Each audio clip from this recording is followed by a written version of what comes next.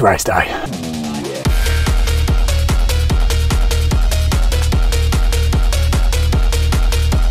Hold on, legend. Thank you.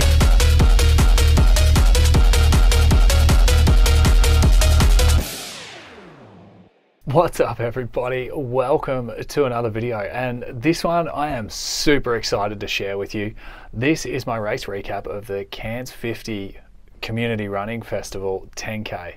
And the reason why I'm so excited is because this is the first race recap video I have done in over six months. The last competitive, fast paced me going out and trying to give it everything sort of race was the Sydney Marathon back in September last year. So really, really excited to share this one with you today. Uh, going into the 10K, I set myself a ridiculous goal of trying to run under 38 minutes, but I had absolutely no idea where my fitness was at.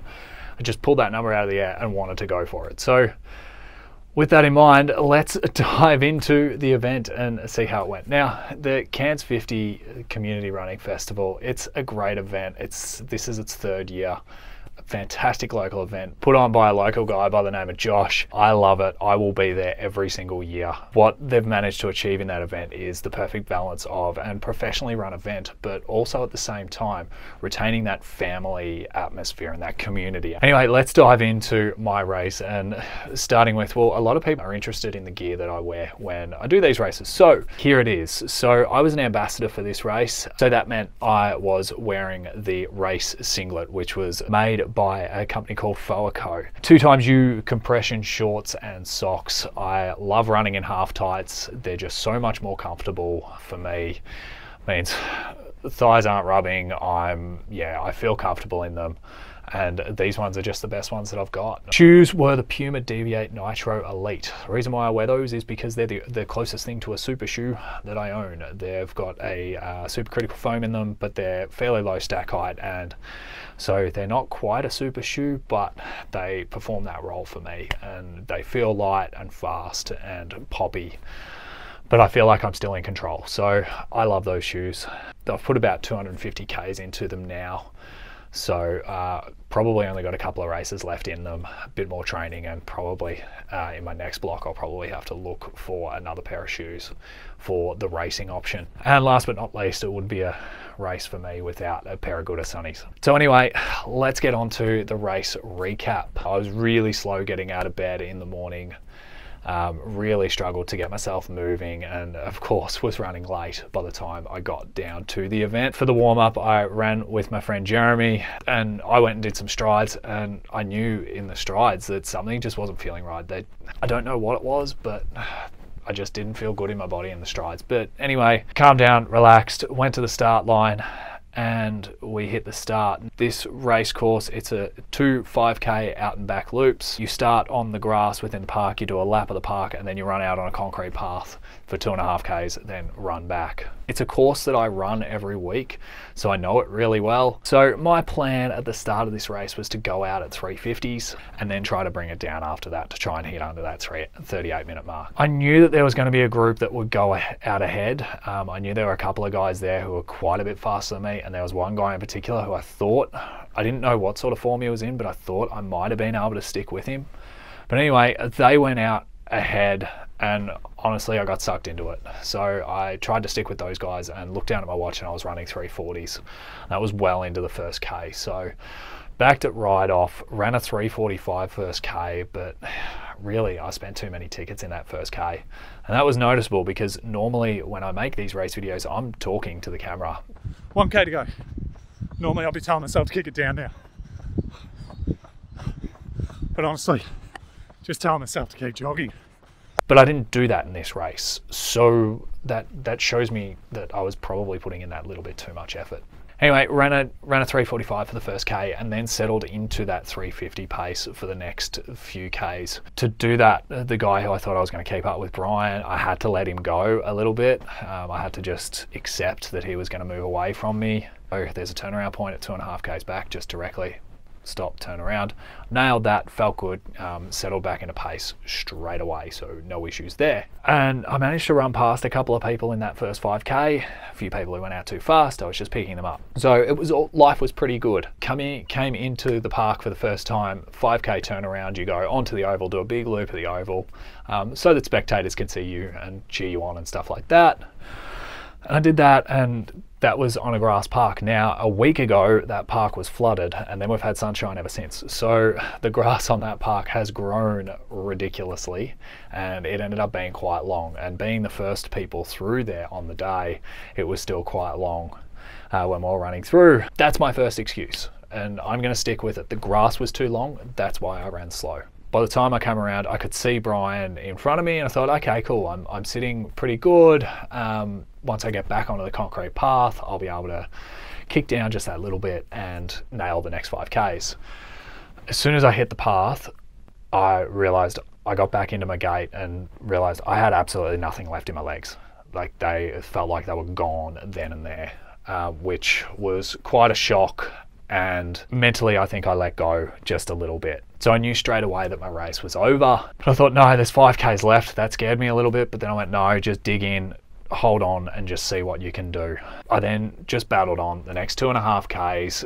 When you know your legs aren't there, five Ks into a 10K race, getting to the seven and a half K mark can be absolutely brutal because there's such a long way to go to try and hold on when you're blowing up like that. I battled through to the final turn at the seven and a half K mark. I averaged four minute Ks to get there and I tried to hold on to the guy who was in front of me. He was dropping off as well. He was struggling too. So I just tried to stick with him and just do what I could. Got to the seven and a half K turnaround and I stopped dead.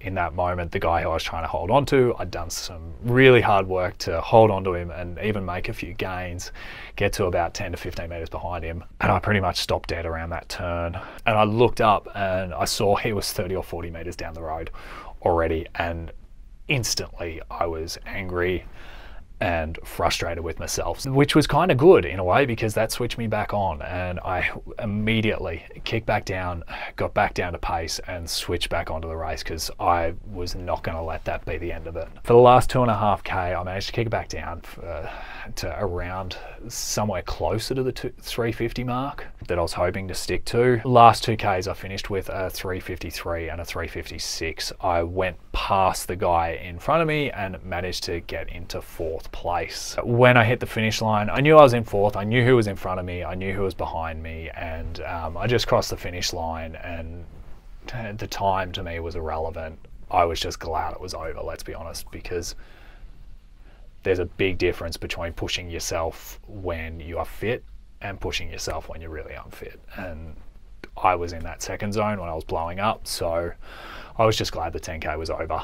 When I look back on the race and I think about it, first thing I can think about is, well, I'm, I was not in the shape that I'd hoped I was. And part of me knew that. Part of me knew that going in, but I still was hoping I was fitter than I, than I put together on the day. That just tells me that I've got to get that little bit stronger. This 10K, it's harder than your average 10K. For some reason, every year, every time Josh puts on an event, it gets hot and it gets really hot. And that on Saturday, that was no exception. We had high temperatures, full sun, really high humidity. So it was a tough 10K. Even though it was flat, it was brutal. And the other thing that I realized looking back on it is I wasn't race fit mentally going into this. This is my first race, like competitive, pushing hard in six months.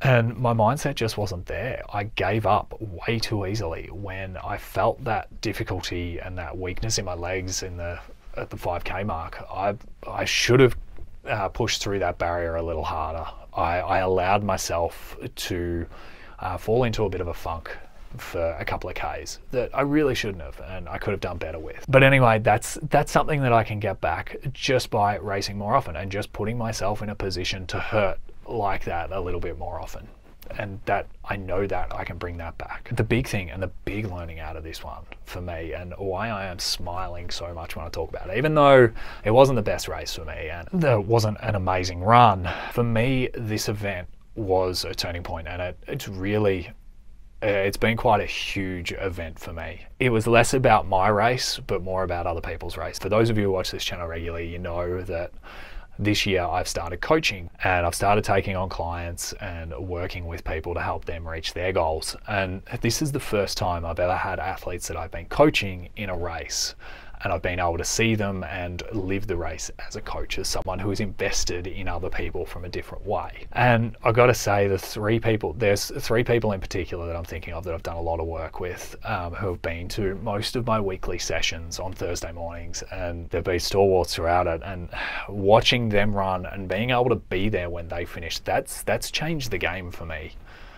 I, I a lot of people ask me why I run and why I do this. And the main thing is that running has given me so much and I want to give back and I want to uh, help people develop the love of running that I've developed and get as much from it as I have. And, and I realized watching those people, following them on the tracker, and then being there when they finished their races, that meant so much more to me than my own race did. And seeing them achieve their goals absolutely made me feel a million, a million dollars. And uh, I'm really, really, really excited by the fact that I get to work with people towards their goals moving forward. And it was, it was awesome absolutely loved it. A shout out specifically to the three ladies in particular. Liz, your selfie was awesome. Sue and Rochelle being there to give you your medal as you crossed the line was an experience that I will never forget. So next steps for me. Well, I know I need to get stronger. So battling a few niggles and that's because of weaknesses and imbalances that I have. So I need to just suck it up and do the strength work and make myself stronger that's next step number one. In terms of what's next on the calendar, I'm going to have a crack at a half marathon. I've signed up pretty much straight away. I signed up for the Cairns Half Marathon on Sunday night. That's in July. I've got about 14 weeks until that's happening. So I've put together a bit of a block. And the other one, over that 14 weeks, I've got to make sure I find opportunities to race more. Even if it is just a park run, I need to put myself in that race mindset and in that race uh, scenario where I've pushed a little bit too hard or I'm, I'm on my limits and where I mentally need to switch into gear. So I need to give myself that opportunity a little bit more often. So the race in the end, I don't think I've actually told you the time. I think I ended up doing 40 minutes and four seconds. Something else that was absolutely amazing on the day was I had a bunch of people, whether it was before the race or during the race, a couple of people, and even after the race, I was presenting medals, and I had a number of people tell me, Hey, I watch your videos. I love watching your videos. And to those people, thank you. Um, I'm still really awkward and shy when people say that stuff to me, so sorry for being awkward and shy and weird. But it's really heartening to hear people get value out of these and, and look forward to these and that this is yeah worth it for people. So I really enjoy doing it. So thank you. Thank you for watching and thank you for coming to say good day on the day. I had an amazing day.